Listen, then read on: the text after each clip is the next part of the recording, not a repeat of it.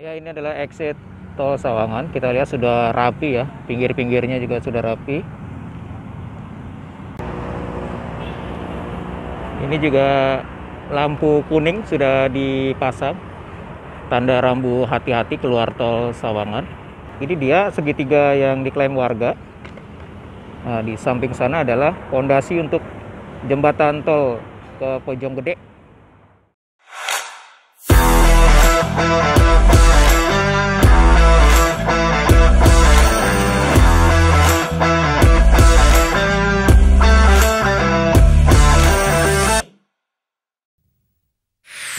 Ya, kembali lagi di Endang Trip Report. Saya akan mengupdate kembali kawasan sekitar exit tol Sawangan.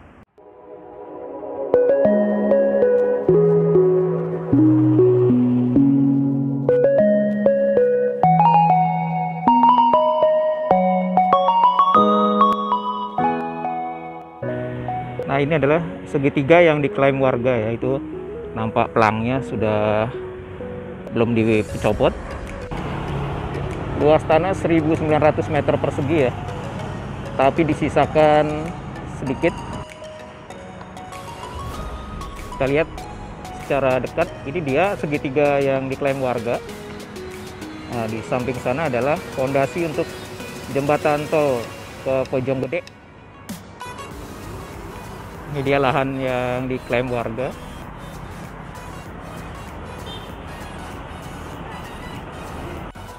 karena sudah tidak boleh masuk ke dalam tol. Banyak warga yang hanya bisa foto-foto sampai sini ya bisa. Seperti kita saksikan di layar ini ada yang olahraga dan foto-foto.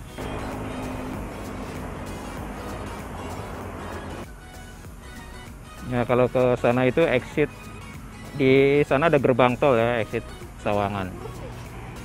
Nah ini adalah naik ke atas nanti ini jembatan ke arah Bojonggede tuh Nah, ini pondasi tengah, lurus ke sana ke arah Citayam Bojonggede. Selain itu ada lampu penerang juga sudah dipasang. Ini akan menambah suasana terang ya di sekitar Sawangan ini, Jalan Raya Sawangan. Ini sisi sebelah kiri juga sudah dibuat gorong-gorong ya untuk saluran air.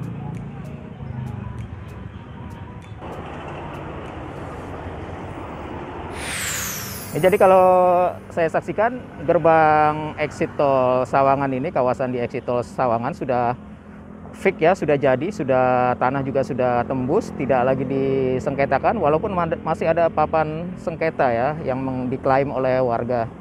Semoga tol ini cepat segera beroperasi dan bermanfaat bagi warga, khususnya warga Depok.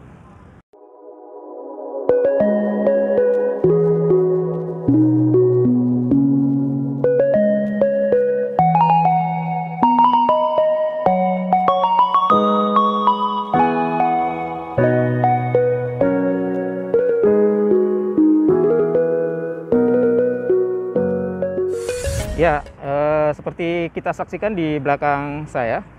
Jadi kondisi exit tol Sawangan ini sudah mulus ya, sudah rapi dan tinggal beroperasi ya pemirsa.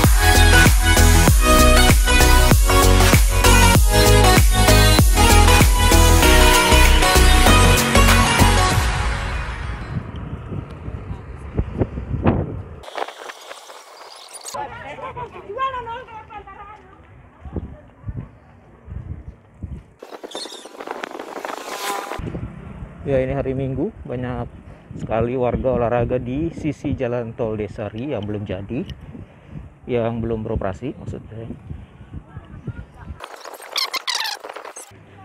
Ini terowongan Samudra Jaya.